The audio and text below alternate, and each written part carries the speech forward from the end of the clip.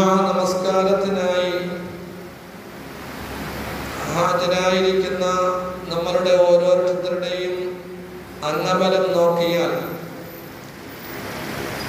ഒരു ജുമുഅ സഹീഹാകുന്നതിന് നാൽപ്പത് പേരുടെ സാന്നിധ്യം അതിന് നിബന്ധനയാണ്. നമ്മളുടെ പള്ളിയുടെ ഉള്ളിലിരിക്കുന്ന ഓരോരുത്തർക്കും ഇപ്പോഴുള്ള പള്ളിയുടെ അവസ്ഥ അല്ലെങ്കിൽ അംഗങ്ങളുടെ എണ്ണം വിരലിൽ എണ്ണയെടുക്കാവുന്നതാണ്. അതുകൊണ്ട് ഈ ശബ്ദം കേൾക്കുന്ന എന്റെ പിതാക്കന്മാർ യുവാക്കന്മാർ സഹോദരങ്ങൾ എത്രയും പെട്ടെന്ന് പരിശുദ്ധമായ ഈ ദിവസവുമായി നോമ്പുമായി പള്ളിയിലേക്ക് വന്നെത്തുകയും ഇരിക്കുന്ന സഹോദരങ്ങളെല്ലാം അള്ളാഹുവിന്റെ ഭവനമാണ്. ആ ഭവനത്തിൽ എവത്തിക്കാഫിന്റെ നെയ്യത്തിലായി നവയത്തുൽ മസ്ജിദി ലില്ലാഹി തആല. അള്ളാഹുവിനോട് അള്ളാഹുവിന് വേണ്ടി ഈ ഭവനത്തിൽ ഇഴത്തിക്കാഫിരിക്കുന്നു എന്ന നെയ്യത്തോടു കൂടി കഴിഞ്ഞുകൂടുക. നമ്മളുടെ ഓരോ നിമിഷവും എഴുപത് മുതൽ എഴുന്നൂറ് ഇരട്ടി വരെയും യാതൊരു പരിധിയുമില്ലാത്ത നിലയിൽ പ്രതിഫലം നൽകപ്പെടുന്ന കാലയളവും സമയവുമാണ് എന്ന് വിചാരിച്ച് ഇനിയുള്ള ജുമാ ദിവസമെങ്കിലും വളരെ നേരത്തെ തന്നെ പള്ളിയിൽ വന്ന് പരിശുദ്ധമായ സൂറത്തുൽ കഹഫിനെ പാരായണം ചെയ്യുന്നതിനായി റസൂലുള്ളാഹി സ്വല്ലല്ലാഹു അലൈഹി വസല്ലമ തങ്ങളുടെ മേൽ സ്വലാത്തിനെ വർദ്ധിപ്പിക്കുന്നതിനായി ദിക്റുകളായി ദുആകളിലായി കഴിഞ്ഞുകൂടിയാൽ റമദാനുമായി നമുക്കതൊരു വലിയ സമ്പാദ്യമായിരിക്കും. ഈ സമ്പാദ്യത്തിന്റെ ഗൗരവവും ആഴവും മനസ്സിലാകുന്നത് നമ്മളുടെ ഓരോരുത്തരുടെയും കണ്ണുകൾ അടയുമ്പോൾ മാത്രമായിരിക്കും. അന്ന് നാം ഓരോരുത്തരും ഖേദിക്കും പ്രയാസപ്പെടും ദുഃഖിക്കും. എനിക്ക് ഒന്നും സാധിച്ചില്ലല്ലോ. പക്ഷേ ആ ഖേദത്തിനും ദുഃഖത്തിനും യാതൊരു നിലയിലുള്ളതായ അർത്ഥവും പ്രയോജനവും ഉണ്ടാകുകയില്ല എന്നത് നമ്മൾ ഓരോരുത്തരും സന്ദർഭോചിതമായി മനസ്സിലാക്കിയിരുന്നാൽ വളരെ നന്നായിരിക്കും ഉചിതമായിരിക്കും. പരിശുദ്ധമായ റമദാനിന്റെ ഏറ്റവും പ്രകടമായ ശ്രദ്ധേയമായ ഭാഗം ഫറലായ കടമ റമദാനിന്റെ പകലുകളിൽ നോമ്പുകാരായി കഴിഞ്ഞുകൂടുക എന്നതാണ്. നോമ്പിന്റെ ബാധ്യത പ്രായപൂർത്തിയും ബുദ്ധിയുമുള്ള എല്ലാ ഓരോ മുസ്ലിമിന്റെയും മുസ്ലിമത്തിന്റെയും കടമയാണ് ബാധ്യതയാണ്. ഏഴ് വയസ്സ് പ്രായമായ കുഞ്ഞുങ്ങളോട് നോവ് പിടിക്കുവാൻ കൽപ്പിക്കുകയും പ്രേരിപ്പിക്കുകയും പ്രോത്സാഹിപ്പിക്കുകയും ചെയ്യേണ്ടത് മാതാപിതാക്കളുടെ ബാധ്യതയാണ് കടമയാണ്. പത്ത് വയസ്സായതിന് ശേഷവും നോമ്പ് അനുഷ്ഠിക്കുന്ന പതിവ് മക്കളിൽ ഉണ്ടായിട്ടില്ല എങ്കിൽ അവരെ അതിന്റെ പേരിൽ ശിക്ഷാ നടപടികൾ സ്വീകരിച്ചിട്ടാണെങ്കിലും നോമ്പിനെ പരിശീലിപ്പിക്കുക എന്നതും രക്ഷകർത്താക്കളുടെ ബാധ്യതയാണ് കടമയാണ് എന്ന് പരിശുദ്ധമായ ശരീരത്തിൽ ഇസ്ലാം നമ്മളെ പഠിപ്പിക്കുന്ന ഒരു യാഥാർത്ഥ്യമാണ്. പരിശുദ്ധമായ റമദാനിലെ വ്രതാനുഷ്ഠാനത്തെ നിയമമാക്കിയതിലൂടെ അള്ളാഹു സുബാനുഭവത്താല രണ്ട് പ്രധാനമായ കാര്യങ്ങളെ ലക്ഷ്യമാക്കിയിട്ടുണ്ട്. ഈ രണ്ട് ലക്ഷ്യങ്ങളും നോമ്പിനെ നിയമമാക്കിയ ആയത്തിലൂടെ തന്നെ അള്ളാഹു നമ്മളോട് എടുത്തു പറയുന്നുണ്ട് ഉപദേശിക്കുന്നുണ്ട്. സൂറത്തുൽ ബക്കറയിലെ നൂറ്റി ഒൻപത്തി എൺപത്തി ഒന്നാമത്തെ ആയത്തായി നോക്കിയാൽ അള്ളാഹു സുബാനുഭവത്താല ലോകത്തിനോട് പറയുന്ന ഒരു യാഥാർത്ഥ്യം. ലോകരിൽ ഏറ്റവും സത്യത്തിന്റെ അതിലുകാരായ ഈമാനിക വീക്ഷണത്തോടുകൂടി ജീവിക്കുന്ന ഓരോരുത്തരോടും പറയുന്ന ഒരു യാഥാർത്ഥ്യമാണ്. യാ അയ്യുഹല്ലദീന ആമനു കുത്തി عليكم الصيام كما كتب على الذين من قبلكم لعلكم تتقون അല്ലയോ സത്യവിശ്വാസികളെ നിങ്ങളുടെ മേൽ നാം വ്രതാനുഷ്ഠാനത്തെ നിർബന്ധമാക്കിയിരിക്കുന്നു മുൻകഴിഞ്ഞ സമൂഹത്തിന് അത് നിർബന്ധമായിരുന്നത് പോലെ നോമ്പ് നിർബന്ധമാക്കുന്നതിനുള്ള ആധികാരികമായ ലക്ഷ്യങ്ങളിൽ ഒരു കാര്യം ലക്ഷ്യം നിങ്ങളുടെ മനസ്സുകൾ അള്ളാഹുവുമായി ബന്ധമുള്ളതാകണം. നിങ്ങളുടെ ജീവിതത്തിന്റെ എല്ലാ ഓരോ തുടിപ്പുകളും മാനസികമായ തുടിപ്പുകളും അള്ളാഹുവുമായി ലയിച്ചു ചേരുന്ന നിലയിലായിരിക്കണം. ഇതാണ് നോമ്പിനെ നിയമമാക്കിയതിലൂടെ ലക്ഷ്യമാക്കിയിരിക്കുന്ന രണ്ടാമത്തെ കാര്യം. ഒന്നാമത്തെ കാര്യം അള്ളാഹു സുബാനുഭവത്താല നോമ്പിനെ നിയമമാക്കിക്കൊണ്ടുള്ള ആ സംബോധനയിൽ തന്നെ വ്യക്തമാക്കി യാ അയ്യുഹല്ലദീന ആമനു.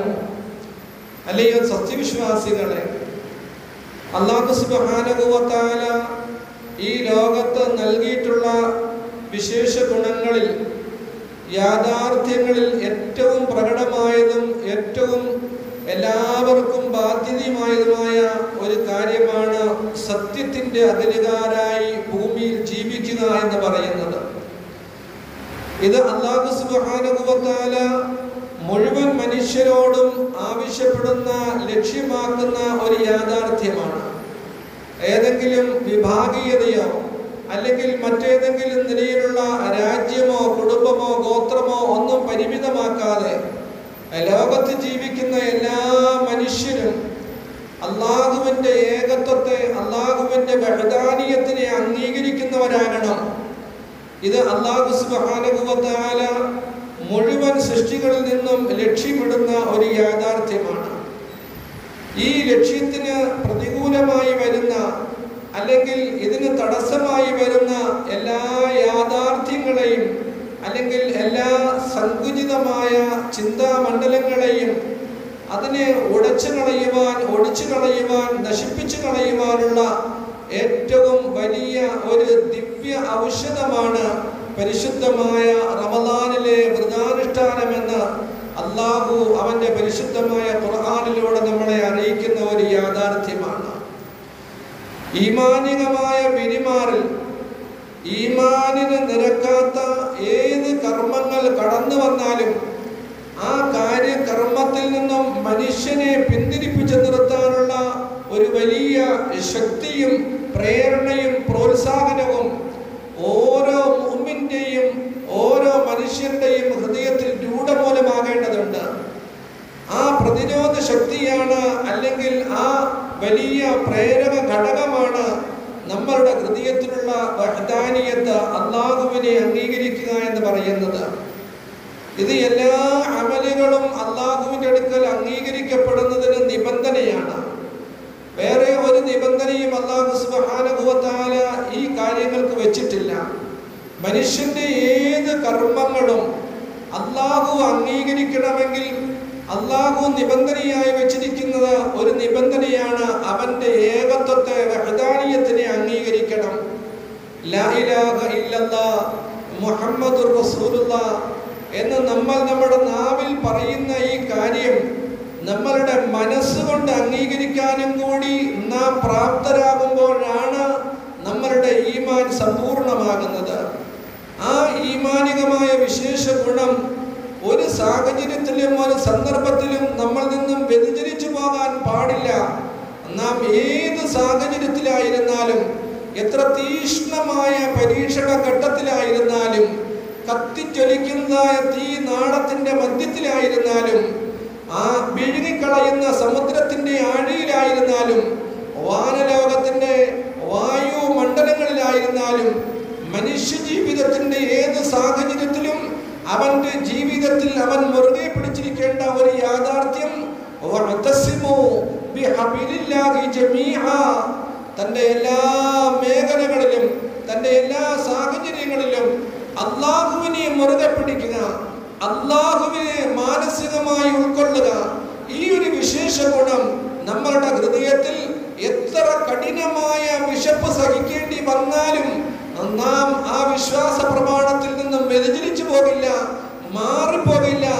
അതിനെ പണയം വെച്ചിട്ട് ഒരു നിലയിലുള്ളതായ സന്ധികൾക്കും ഞാൻ തയ്യാറല്ല എന്ന അള്ളാഹുവിനോട് മാനസികമായി ദൃഢനിശ്ചയം ചെയ്യുക എന്നത് പരിശുദ്ധമായ വ്രതാനുഷ്ഠാനത്തിന്റെ ഏറ്റവും പ്രകടമായതും എല്ലാ അമലുകളെയും പോലെ പരിശുദ്ധമായ റമദാനിന് സ്വീകരിക്കപ്പെടുന്നതിനുള്ള നിബന്ധനയാണ്.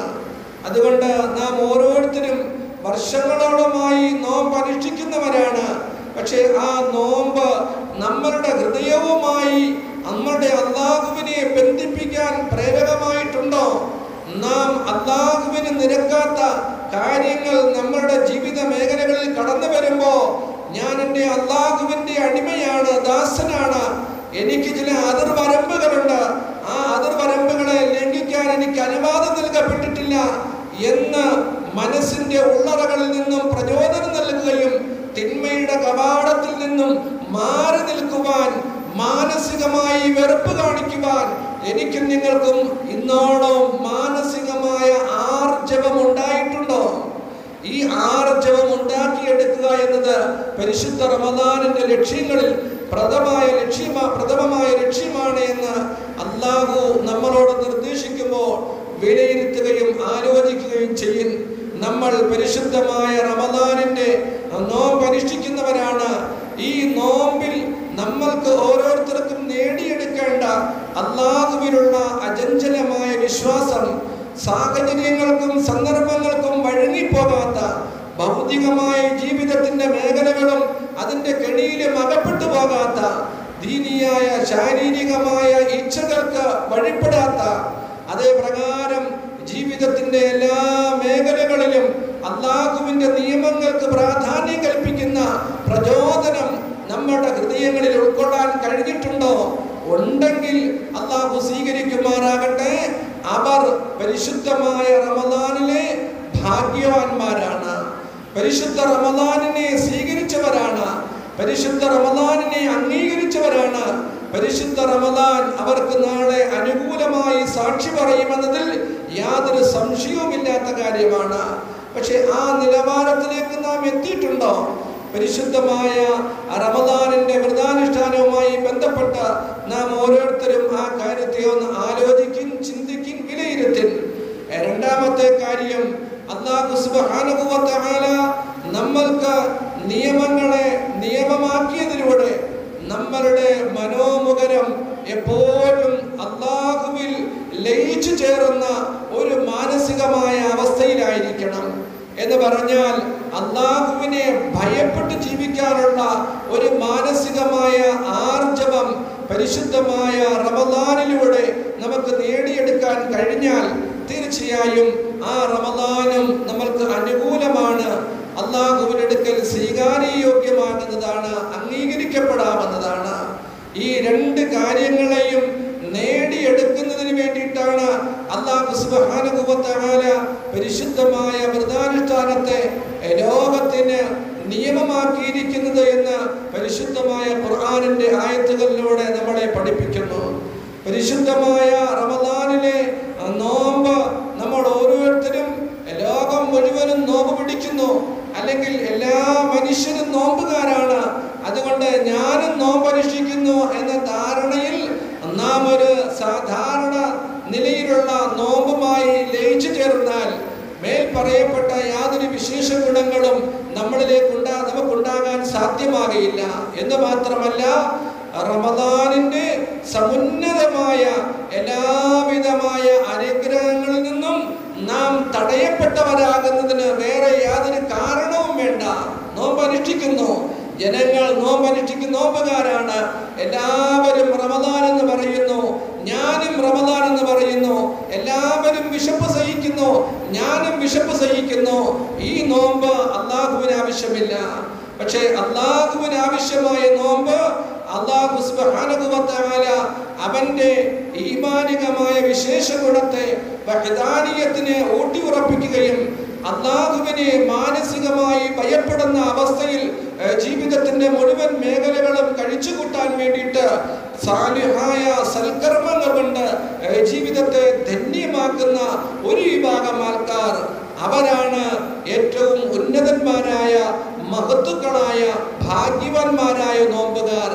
അള്ളാഹു ആ വഴിയിൽ ചിന്തിക്കാറുള്ള തൗഫീഖ് നമുക്ക് എല്ലാവർക്കും നൽകുമാറാകട്ടെ. പരിശുദ്ധ റമദാനിന്റെ ഏറ്റവും ശ്രദ്ധേയമായ ഒരു ഭാഗം അള്ളാഹുവിന്റെ പരിശുദ്ധവും പരിപാവനവുമായ ഈമാനികമായ വിശേഷ ഗുണവും തത്വയിലും അധിഷ്ഠിതമായ ഒരു ജീവിത പദ്ധതിയെ പടുത്തെടുക്കാൻ പടു- പടു- പടു- ഉയർത്തിയെടുക്കാൻ വേണ്ടിയിട്ട് അള്ളാഹു നൽകിയിരിക്കുന്ന റമദാനിലെ ഏറ്റവും പ്രധാനപ്പെട്ട ഭാഗമാണ് അതിന്റെ ആദ്യത്തെ പത്ത്. അതിന്റെ ചില്ലറ ദിവസങ്ങൾ കഴിഞ്ഞു. നമ്മൾ ഓരോരുത്തരും ഇനി ബാക്കിയുള്ള ദിവസങ്ങൾ പ്രതീക്ഷിക്കുന്നവരാണ്. പരിശുദ്ധമായ അള്ളാഹുവിന്റെ റഹ്മത്തിന് അള്ളാഹുവിന്റെ അനുഗ്രഹത്തിന് നാം അർഹരായി തീരുക എന്നതാണ് പരിശുദ്ധ റമദാനിലെ ആദ്യത്തെ പത്ത് ദിവസങ്ങൾ കൊണ്ട് നാം നേടിയെടുക്കേണ്ടത്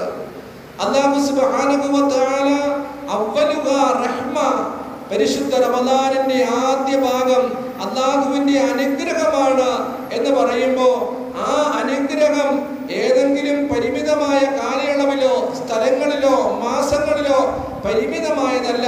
മറിച്ച് ലോകത്തുള്ള എല്ലാ ലോകത്ത് അല്ലാത്ത മുഴുവൻ വസ്തുക്കളിലും വ്യാപകമായി കിടക്കുന്ന വലിയ ഉന്നതമായ നമ്മുടെ ജീവിതത്തിന്റെ ഏറ്റവും പ്രത്യേകമാകുന്ന ഒരു വിശേഷ ഗുണമാണ് അള്ളാഹുവിന്റെ റഹ്മത്ത് എന്ന് പറയുന്നത്. അള്ളാഹുവിന്റെ അനുഗ്രഹം സർവ വസ്തുക്കളിലും വ്യാപകമാണ്. പ്രവാചകന്മാർ അള്ളാഹുവിന്റെ റഹ്മത്തിന് ആവശ്യക്കാരാണ്. ഔലിയാക്കൾ അള്ളാഹുവിന്റെ റഹ്മത്തിന് ആവശ്യക്കാരാണ്.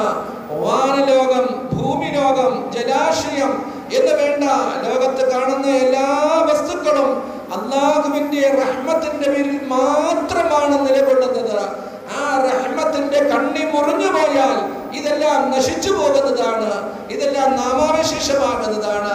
അതുകൊണ്ട് ഈ ലോകത്തിന്റെ നിലനിൽപ്പിന് മനുഷ്യ ജീവിതത്തിന്റെ സന്തുലിതമായ സാഹചര്യങ്ങൾക്ക് മൃഗങ്ങളുടെ കന്നുകാലികളുടെ പക്ഷി പക്ഷികളുടെ എന്ന് വേണ്ട മുഴുവൻ വസ്തുക്കളുടെയും നിലനിൽപ്പിന് ആവശ്യമായത് അള്ളാഹുവിന്റെ അനുഗ്രഹമാണ്. ആ അനുഗ്രഹം ലോകത്തെങ്ങും മുറിയാതെ തുടർച്ചയായി ലഭ്യമാകണം. അത് നേടിയെടുക്കാനുള്ള പ്രത്യേകമായ അവസരമാണ് പരിശുദ്ധമായ റമദാനിന്റെ ആദ്യത്തെ ഭാഗം. അല്ലാഹുമ്മ നാം എപ്പോഴും ദുആ ചെയ്യുന്നു. എന്തിനേറെ പറയണം? എന്റെയും നിങ്ങളുടെയും ശരീരത്തിൽ നിന്നും ആത്മാവിനെ പിടിച്ചെടുക്കുമ്പോ ലോകത്തുള്ള ജലാശയങ്ങൾ മുഴുവനും കുടിപ്പിക്കപ്പെട്ടാൽ പോലും ദാഹം ശമിപ്പിക്കപ്പെടാത്ത അവസ്ഥയിൽ മനുഷ്യൻ സക്കറാത്തിന്റെ ഹാലിലായിരിക്കുമ്പോ അള്ളാഹുവിന്റെ റഹ്മത്ത് കൊണ്ട് മാത്രമാണ് അവൻ ആ സമയത്ത് റോഹനെ പിടിക്കുവാനുള്ള അല്ലെങ്കിൽ ഈമാനികമായ ദറജയിലേക്ക് എത്തിപ്പെടാൻ കഴിഞ്ഞാൽ അവൻ രക്ഷപ്പെട്ടവനായി തീരുന്നു ആ ആ അവസ്ഥയിൽ ലോകത്തുള്ള എല്ലാ ജലാശയങ്ങളും കുടിപ്പിക്കപ്പെട്ടാലും ദാഹം ശമിപ്പിക്കാത്ത അവസരത്തിൽ ലാ ഇലാഹ ഇല്ലല്ലാഹ് എന്ന പരിശുദ്ധമായ കലിമത്ത് തൗഹീദിനെ അവന്റെ നാമങ്ങളിലൂടെ മനോമകരങ്ങളിലൂടെ പറയാൻ സാധിച്ചാൽ അഥവാ എന്റെയും നിങ്ങളുടെയും ഈ ലോകത്തു നിന്നുള്ള വിയോഗം യാത്ര ഈമാനികളാകണമോ ആ ഈമാൻ നേടിത്തരണമെങ്കിൽ അള്ളാഹുവിന്റെ റഹ്മത്ത് അനിവാര്യമാണ്. നിസ്സാരമായ കാര്യമല്ല. വളരെ വിശാലമായ ഒരു അധ്യായമാണ്. അത് സംസാരിക്കുവാനും അതിനെപ്പറ്റി വിശദീകരിക്കാനുമുള്ള സമയമല്ല. ഏതായിരുന്നാലും അള്ളാഹു സുബ്ഹാനഹു വ പരിശുദ്ധമായ റമദാനിന്റെ ദിനരാത്രങ്ങൾ ഓരോന്നും ഒരു സമയവും ഒരു മിനിറ്റും പാഴാക്കാതെ അള്ളാഹുവിന്റെ വിവാദത്തിലായി സൽക്കർമ്മങ്ങളിലായി പകൽ നോമ്പുകാരായി ഖുർആൻ പാരായണത്തിലായി ദിക്റിലായി സ്വലാത്തിലായി ഹലാലായ സമ്പാദ്യങ്ങളിലായി തൊഴിൽ മാർഗങ്ങളിലായി ജീവിത മേഖലകളിലായി പഠനങ്ങളിലായി പാഠ്യ പദ്ധതികളിലായിട്ട് മനുഷ്യൻ അവന്റെ ജീവിതങ്ങളെ മുഴുവനും മാറ്റിവെച്ച് പള്ളിയുടെ ഉള്ളിൽ കഴിയണമെന്നല്ല എന്നോ പറയുന്നത്. ഞാൻ സമ്പാദിക്കുന്ന എന്റെ സമ്പാദ്യം ഹലാലായ സമ്പാദ്യമാകണം. ആ സമ്പാദ്യത്തിന് വേണ്ടിയിട്ടുള്ള അധ്വാനവും നോമ്പിന്റെ റഹ്മത്താണ് അനുഗ്രഹമാണ്. ഹലാലായ നിലയിൽ കൂടിയിട്ട് വിജ്ഞാനം കരസ്ഥമാക്കുന്ന ഒരു വിദ്യാർത്ഥിയുടെ പഠന മേഖല തീർച്ചയായും അത് നോമ്പിന്റെ അനുഗ്രഹമാണ് റഹ്മത്താണ്. ഈ നിലയിൽ സർവ മേഖലകളിലും അള്ളാഹുവിന്റെ റഹ്മത്തിനെ പ്രതീക്ഷിച്ചുകൊണ്ട് ഇനിയുള്ള സമയമെങ്കിലും മുതലെടുക്കാനുള്ള ഈമാനികമായ വിശേഷ ഗുണം അള്ളാഹു നമുക്ക് നൽകി അനുഗ്രഹിക്കുമാറാകട്ടെ. പരിശുദ്ധമായ റമദാനിന്റെ രാത്രിയിലെ പ്രത്യേകമായ അമൽ പരിശുദ്ധമായ തറാബീഹ് നമസ്കാരമാണ്. അത് ഐച്ഛികമാണ് സുന്നത്താണ്. നോമ്പ് ഫറലാണ് പകലിലാണ്. തറാബീഹ് നമസ്കാരം സുന്നത്താണ് രാത്രിയിലാണ്. പകൽ നോമ്പുകാരനായിക്കൊണ്ട് നോമ്പിന്റെ മഹത്വങ്ങളെ കരസ്ഥമാക്കാൻ ഒരാൾക്ക് സാധ്യമാകുമെങ്കിൽ നോമ്പിന്റെ മഹത്വങ്ങൾ കരസ്ഥമാക്കാൻ രാത്രിയുടെ മഹത്വം കരസ്ഥമാക്കാൻ തറാവീഹ് നമസ്കാരത്തിൽ പങ്കെടുക്കുക എന്നതാണ് അതിന്റെ ഏറ്റവും മർമ്മപ്രധാനമായ ഭാഗം. നിബിതങ്ങൾ രണ്ടും ഒരേ വാക്കിൽ പറഞ്ഞു. ഇന്നത്തെ ഹുത്തുബായിലും അത് പറയുന്നുണ്ട് മൻ സാമ റമളാന ഈമാനൻ വഹ്തിസാബൻ ഗുഫിറ ലഹു മാ തഖദ്ദമ മിൻ ദംബിഹി. ആരെങ്കിലും പരിശുദ്ധമായ റമളാനിന്റെ പകലിൽ അള്ളാഹുവിൽ വിശ്വാസം അർപ്പിച്ചുകൊണ്ട് അള്ളാഹുവിന്റെ പ്രതിഫലത്തെ ആഗ്രഹിച്ചുകൊണ്ട് നോപരീക്ഷിച്ചാൽ അവന്റെ മുൻകഴിഞ്ഞ പാപങ്ങളെല്ലാം പൊറപ്പിക്കപ്പെടും ഇത് നോമ്പിനെ പറ്റി പറഞ്ഞു. അതേ വാക്ക് തന്നെ തറാവീഹ് നമസ്കാരത്തെ പറ്റി പറയുന്നു.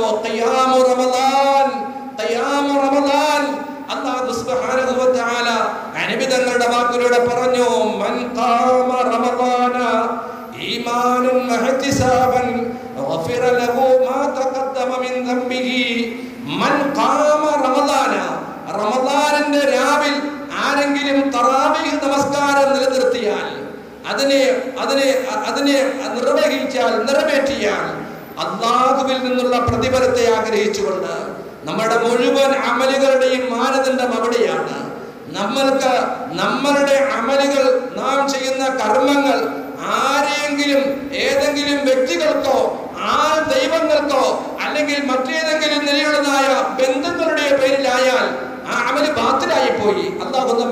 നമ്മെ കാത്തുരക്ഷിക്കുമാറാകട്ടെ ലവജിഹില്ല മൻ ഖാമ റമദാന ഈമാനൻ വഹ്തിസാബൻ. അള്ളാഹുവിൽ വിശ്വാസം അർപ്പിക്കണം പ്രതിഫലം അള്ളാഹുവിൽ നിന്ന് പ്രതീക്ഷിക്കണം.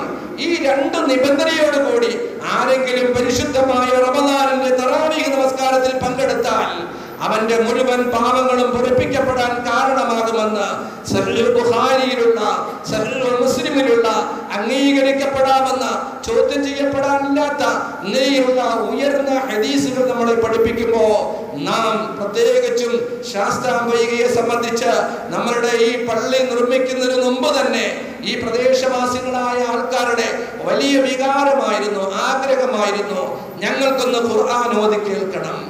പരിശുദ്ധമായ ഖുർആൻ ഞങ്ങൾ ഓരോരുത്തരും സ്വന്തമായി പാരായണം ചെയ്യാൻ ഞങ്ങൾ തൊഴിൽ ചെയ്യുന്നവരാണ് ബുദ്ധിമുട്ടുന്നവരാണ് പകലന്തിയോടും അധ്വാനിക്കുന്നവരാണ് ഖുർആൻ ഒന്ന് തോതാനുള്ള സമയം ലഭിക്കാത്തവരാണ്. അതുകൊണ്ട് ഈ പരിശുദ്ധമായ റമദാനിൽ ഒരു ഹാഫിദിനെ നിർത്തി ആ ഹാഫിദിന്റെ പിന്നിൽ ആ ഖുർആൻ ഒന്ന് പൂർണമായി ഓതി കേൾക്കണമെന്നുള്ള ആഗ്രഹം ഞാനിത് ഈ സന്ദർഭോചിതമായി പറഞ്ഞു പോവുകയാണ്. ഈ പ്രദേശക്കാരായ പല സഹോദരങ്ങളും ഞങ്ങളോട് വന്ന് ആവശ്യപ്പെട്ടിട്ടുണ്ട്. ഞങ്ങൾക്കൊരു ഹാഫിദിനെ ഉസ്താദെ. ഞങ്ങൾക്കൊന്ന് തറാവീ നമസ്കാരത്തിൽ പങ്കെടുക്കാൻ വേണ്ടിയിട്ട് സന്ദർഭോചിതമായും സാഹചര്യത്തിനനുസൃതമായിട്ടും ചില നിലയിലുള്ളതായ ചില സാഹചര്യങ്ങളും മനസ്സിലാക്കി നമ്മൾ അവരെ എന്തെങ്കിലും തൽക്കാലം ഒരു മറുപടി പറഞ്ഞ് യാത്രയാക്കുകയായിരുന്നു. എന്നാൽ അലഹമില്ല ഈ വർഷത്തെ തറാവീഹ് നമസ്കാരത്തിന് പുത്തന്തരൂ ജമാഅത്തിൽ തന്നെയുള്ള ഒരു നല്ല ഹാഫിദായ ഹാഫിദിന്റെ പുറകിൽ തറാവീഹ് നമസ്കരിക്കാനുള്ള ഏർപ്പാട് ഈ പ്രദേശവാസികളായ നമ്മൾ ഓരോരുത്തരും അതേ പ്രകാരം തന്നെ ജമാഅത്തിന്റെ അനുവാദത്തോടു കൂടിയും അങ്ങനെ ഒരു ഏർപ്പാട് ചെയ്തു എന്ന് പറയുമ്പോൾ അത് വളരെ സ്വീകാര്യമായ ഒരു കാര്യമാണ്. അംഗീകരിക്കപ്പെടാവുന്ന ഒരു കാര്യമാണ്. തറാബീഹ് നമസ്കാരത്തിന് നമ്മൾക്ക് ഓരോരുത്തർക്കും പരിശുദ്ധമായ ഖുർആൻ. ഖുർആനിന്റെ മാസമാണല്ലോ റമദാൻ. ഷഹ്റു റമദാൻ അല്ലദീ ഉൻസില ഫീഹിൽ ഖുർആൻ. ജിബ്രീൽ അലൈഹിസ്സലാം തങ്ങളുടെ അവസാനത്തെ റമദാനിൽ രണ്ട് പ്രാവശ്യം ഹാജരായി തങ്ങൾ കന്നുവരെയും അവതരിപ്പിച്ച ഖുർആനിലെ ഓതി കേൾപ്പിക്കുമായിരുന്നു എന്നുള്ള കാര്യം നിങ്ങൾക്ക് എല്ലാവർക്കും സുതരാം അറിയുന്ന യാഥാർത്ഥ്യമാണ്. അതുകൊണ്ട് പരിശുദ്ധമായ റമദാനുമായി തറാവീഹ് നമസ്കാരത്തിന് വേണ്ടി ഒരു ഹാഫിനെ നിശ്ചയിച്ചു എന്നത് നമ്മളുടെ ഈ പള്ളിയുടെ ഈ പ്രദേശവാസികളായ മുഴുവൻ യുവാക്കളുടെയും മുഴുവൻ പിതാക്കന്മാരുടെയും മുഴുവൻ ചെറുപ്പക്കാരുടെയും ഒരു വലിയ ആഗ്രഹവും താല്പര്യവും നിറവേറി എന്നാണ് ഞാൻ മനസ്സിലാക്കുന്നത്. അതുകൊണ്ട് ആ കാര്യത്തിൽ നിങ്ങളെല്ലാവരും ആ നമസ്കാരത്തിൽ പങ്കാളികളാകുക കൂടി ചെയ്യണം. അവിടെയും ഇവിടെ നിന്ന് പറയാതെ കേൾക്കാതെ ഒരു മണിക്കൂർ സമയം കൊണ്ട് ഒരു ജുസുവോ ഒന്നുകാൽ ജുസുവോ ഓതി കേൾക്കുന്ന ഒരു ഒരു സൗഭാഗ്യം ഇരുപത് റക്കാത് തറാബീഹ് നമസ്കാരത്തിലൂടെ അങ്ങനെ ഒരു സംരംഭം നമ്മളുടെ ജമാഅത്ത് നമുക്ക് ചെയ്തു തരുമ്പോൾ നാം അതിനെയും വിട്ട് അശ്രദ്ധരായി പോവുക. അല്ലെങ്കിൽ മറ്റെന്തെങ്കിലും ന്യായങ്ങൾ പറഞ്ഞ് അതിൽ നിന്ന് ഒഴിഞ്ഞു മാറുക അത് അപകടമാണ് ആപത്താണ്. നന്മയിൽ പങ്കാളികളാകൽ നമ്മളുടെ ധർമ്മമാണ് ഉത്തരവാദിത്വമാണ്. നന്മയിലും അള്ളാഹുവിനെ ഭയപ്പെടുന്നതിലും പരസ്പരം മാനസികമായി യോജിപ്പുണ്ടാകണം. ഇത് ഈമാനിന്റെ ഭാഗമാണ്. നന്മയാണ് അള്ളാഹുവിന് തൃപ്തികരമായ അമലാണ്. പരിശുദ്ധമായ റമദാനിന്റെ രാത്രിയിൽ ഒന്നേകാലോ ഓരോ ഒന്നോ ജുസു ഓരോ രാത്രിയിൽ മോദി കേൾക്കുമ്പോൾ സമയം ലഭിക്കുമ്പോ ഏതെങ്കിലും ഒരു രാത്രി ലൈലത്തിൽ ഖദറിന്റെ രാത്രിയായാൽ അള്ളാഹു കബൂലാക്കുമാറാകട്ടെ സ്വീകരിക്കുമാറാകട്ടെ. നമുക്ക് ഓരോരുത്തർക്കും യാതൊരു പരിധി നിശ്ചയിക്കാത്ത നിലയിൽ അള്ളാഹുവിന്റെ റഹ്മത്തിനെ ഏറ്റുവാങ്ങാനുള്ള ഒരു വലിയ അവസരവും സന്ദർഭവും പാഴാക്കി കളയരുത് എന്ന് മാത്രമാണ് നിങ്ങളോടുള്ള വിനയന്യതമായ അപേക്ഷ. ഞാൻ ഈ കാര്യം നിങ്ങളോട് തുറന്നു പറയുന്നത് വർഷങ്ങളോളമായി ഈ പ്രദേശത്ത് വരുമ്പോ റമദാനിൽ ഒരു തറാവിക നമസ്കാരത്തിന് ഒരു ഹാഫുദിനെ നിർത്തി നമസ്കാരം നിറവേറ്റുന്നതിന് വേണ്ടി ആഗ്രഹിച്ചിരുന്ന പലരും എന്നോട് നേരത്തെ നേരെ പറഞ്ഞവർ തന്നെ ഈ സദസ്സിലിരിപ്പുണ്ട് അതുകൊണ്ട് നിങ്ങൾ നിങ്ങളുടെ മക്കളെയും നിങ്ങളുടെ യുവാക്കളായ ചെറുപ്പ ചെറുപ്പക്കാരായ ആൺമക്കളെയും അതുപോലെ തന്നെ പിതാക്കന്മാർ ഏതെങ്കിലും അവർക്ക് ഒരുപക്ഷെ ദീർഘമായി നിൽക്കാൻ കഴിയില്ല എങ്കിൽ നമസ്കാരത്തിന് ഇരുന്നു കൊണ്ട് നമസ്കരിക്കാനാണെങ്കിലും ആ ഖുർആൻ ഒന്ന് കേൾക്കാൻ ഖുർആൻ ഒന്ന് മനസ്സിലാക്കാൻ അതിന്റെ അർത്ഥവും വിശദീകരിക്കുന്നു എന്നാണ് എനിക്ക് ഇവിടെ വന്നപ്പോൾ അറിയാൻ കഴിഞ്ഞത്. ഓരോ ദിവസവും ഓതുന്ന ഖുർആനിൽ നിന്നും ഒന്ന് രണ്ട് ആയത്തുകൾ അതിന്റെ ഒരു വിശദീകരണം ഹാഫിദ് ഉസ്താദുകൾ തന്നെ പറയുന്നുണ്ട് എന്ന് അത് നിങ്ങൾക്ക് വലിയ താല്പര്യമാണ് ഞങ്ങൾക്ക് വലിയ ഇഷ്ടമാണ് എന്ന് പലരും പറഞ്ഞു. അലഹമില്ല അള്ളാഹു കബൂലാക്കുമാറാകട്ടെ. അതുകൊണ്ട് തറാവീഹ് നമസ്കാരം. പരിശുദ്ധ റമദാനിൽ നാം റമദാനിന്റെ രാത്രിയുടെ മഹത്വം കരസ്ഥമാക്കാൻ തറാവീഹ് നമസ്കാരത്തിലൂടെ പറ്റുന്നത് പോലെ വേറെ ഒരു കാര്യത്തിലും നമുക്ക് നമുക്ക് നേടിയെടുക്കാൻ കഴിയില്ല. ചിലരൊക്കെ പറയും എനിക്ക് ഫറൽ കഥ ഉണ്ട് അല്ലെങ്കിൽ എനിക്ക് ജോലിയുണ്ട് എനിക്ക് മറ്റേതെങ്കിലും കാര്യങ്ങളുണ്ട്. പക്ഷേ റമദാനിന്റെ ഈ രാത്രിയുടെ മഹത്വം നമുക്ക് കരസ്ഥമാക്കണമോ? നമ്മൾ ഓരോരുത്തരും ആ റമദാനിലെ തറാവീഹ് നമസ്കാരത്തിൽ നിർബന്ധമായും പങ്കെടുക്കുകയും അത് അതിലൂടെ പരിശുദ്ധമായ ഖുർആൻ പാരായണം കേൾക്കുകയും അതിന്റെ അർത്ഥവും അതിന്റെ ആശയവും മനസ്സിലാക്കുന്നതിലുമൊക്കെ നിങ്ങളുടെ എല്ലാവരുടെയും മാനസികമായ കൂട്ടായ്മ ഉണ്ടാകണം. ആരും അതിൽ നിന്ന് മാറി നിൽക്കരുത്. നന്മയാണോ? ആ നന്മ ആര് ചെയ്താലും അതൊരു നന്മയാണെന്ന് അംഗീകരിക്കലാണ്. ഈമാനിന്റെ ഭാഗം